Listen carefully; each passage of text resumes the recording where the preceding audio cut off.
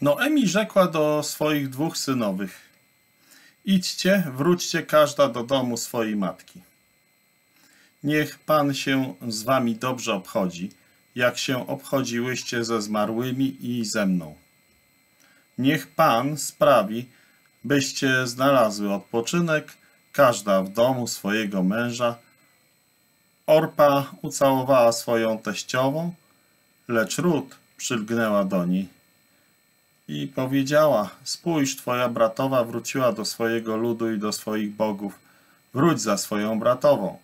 Księga Rut, pierwszy rozdział, ósmy do dziewiątego wersetu oraz czternasty do piętnastego wersetu.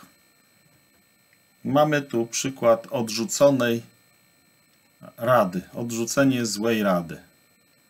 Noemi, jej mąż Elimelech i ich dwaj synowie udali się do Moabu, aby uniknąć głodów Izraelu.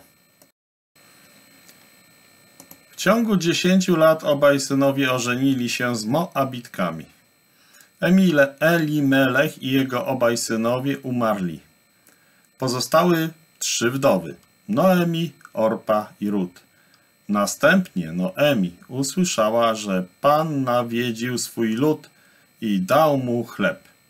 Postanowiła wrócić, a jej synowe, które ją kochały, poszły z nią. Noemi próbowała je odwieść od tego, mówiąc im, by wróciły do domu.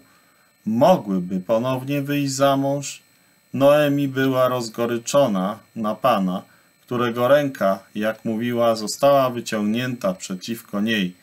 Wydawało się, że ulżyło jej, gdy Orpa pocałowała ją na pożegnanie i wróciła do swoich ludzi i do swoich bogów.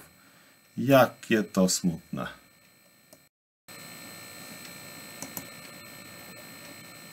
Noemi namawiała też Rut, by zawróciła do Moabu, ale Rut nie chciała jej opuścić. Rut zadeklarowała, Twój lud będzie moim ludem, a Twój Bóg moim Bogiem. Najwyraźniej słyszała o prawdziwym Bogu od rodziny swojego męża. Nawet jeśli miałoby to być dla niej trudne, bo żyłaby w Izraelu jako Moabitka, która według prawa mojżeszowego nie mogła wejść do zgromadzenia Izraela nawet do dziesiątego pokolenia, jak mówi piąta Mojżeszowa, 23 rozdział, od trzeciego do szóstego wersetu. Rut zdała się na miłosierdzie Pana Boga i schroniła się pod Jego skrzydła. Jakie to smutne, że wierzący może udzielać tak strasznych rad, jak rada Noemi. Jak wielka była wiara Rut, Bóg dopilnował, by jej wiara została nagrodzona.